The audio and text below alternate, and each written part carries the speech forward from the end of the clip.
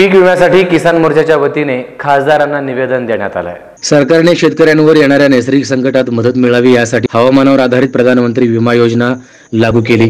या योजनेमध्ये शेतकऱ्यांनी चाळीस टक्के रक्कम आणि साठ टक्के रक्कम सरकारने विमा कंपनीकडे भरण्याचे ठरल्याने शेतकऱ्यांनी आपली रक्कम बँकांमध्ये जमा केली होती. यावर्षी सोलापूर सातारा जळगाव या जिल्ह्यासाठी भारतीय ॲक्सा जनरल इन्शुरन्स कंपनीची नियुक्ती केली आहे.